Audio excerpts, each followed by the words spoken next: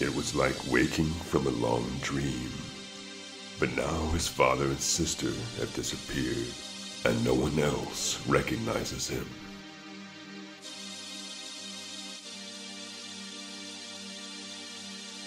He dreamt of a horrific demon who ripped his heart and body apart. But it remains just a dream.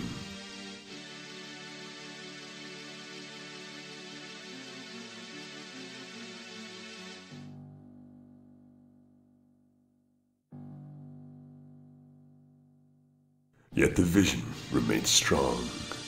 Deep within the corners of his mind, he hears it calling. A different world, a world of silence, a world of darkness. He moves toward it, feeling both fear and exhilaration. He succumbs, and the darkness welcomes him.